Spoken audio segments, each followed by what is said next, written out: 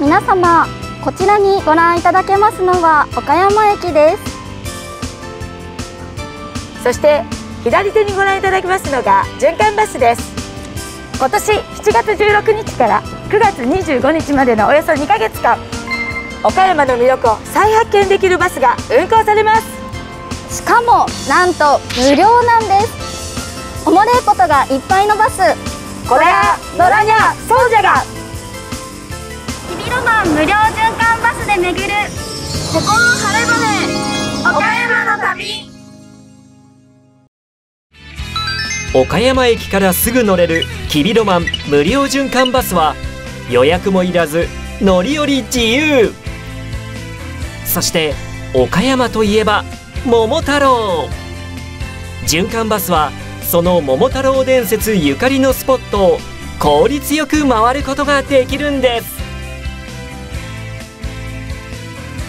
循環バスの停留所は全部で9カ所。岡山駅から右回りと左回りで走るのでどこへ行くにもとっても便利。今回はその中から地元を知り尽くした私たちバスガイドだから知っている穴場やお得情報をたっぷり教えちゃいます。まずは。今回のバスではちょっと癖の強いさまざまな体験ができるんです癖が強えんじゃ2人がまず降りたのは吉備津神社桃太郎伝説のモデルと言われている大吉備津彦の御事ゆかりの神社ですここのね建物はね室町時代足利義満の時からね建物作ったんだけれど、肥沃入りもや造りといって国宝に指定されとんだですよねすごい国宝建築をただ見るだけではなく吉備津神社でできるすごい癖強体験がこちら。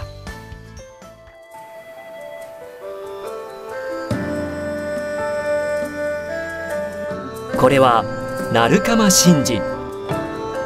釜の下にはなんと桃太郎に退治された鬼の首が埋められているとか。伝説の釜で米を蒸すと不思議な音が聞こえてきます。その音で吉兆を占います。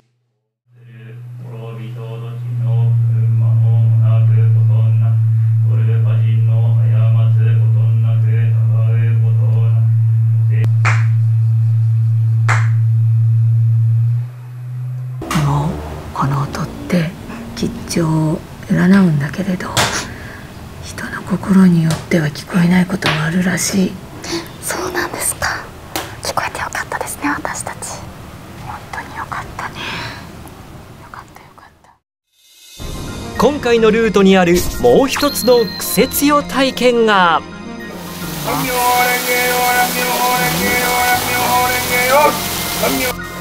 圧巻の迫力。ここは滝行体験ができるお寺龍泉寺。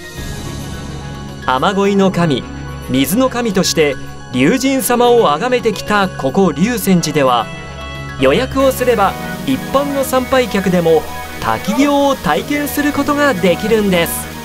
全国でも滝行できるところってそうないからないですよね。珍しいよ。無料循環バスには絶景スポットもたくさん。こちらは備中国分寺停留所すぐの五重塔。岡山県唯一のこの五重塔の周辺には美しい日本の原風景が広がります。それからこちらは造山古墳。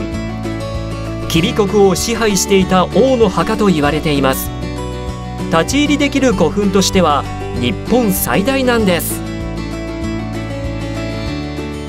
他にもまるで江戸時代にタイムスリップしたような武家屋敷もぜひご覧いただきたい風景の一つ。まさに一停留所一絶景。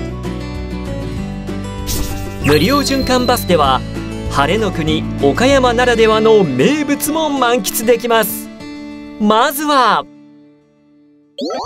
じゃーんメロン。岡山はフルーツ王国。メロンもまさに今が旬。ただこのまま食べるのじゃ面ほいなんとメロンの果肉たっぷりのかき氷。今年の新作じゃ。岡山足森産メロンを贅沢に使ったかき氷。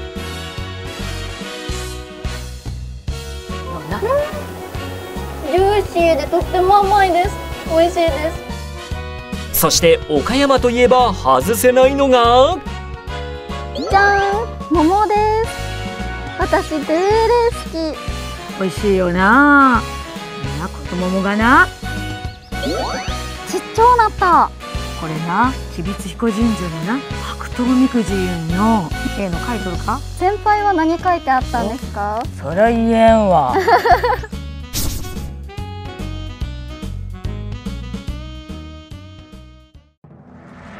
期間中は VR を駆使したイベントや謎解きゲームまたスマホを使ったスタンプラリーなど岡山を堪能できるさまざまな仕掛けが満載。岡山駅中央改札を出て右手へ進みエスカレーターを降りて西口バスターミナルへわずか3分。無料循環バス乗り場までお越しください。絶景体験歴史グルメと晴れの国岡山の魅力がぎゅぎゅぎゅっと詰まったきびロマン無料循環バスの旅。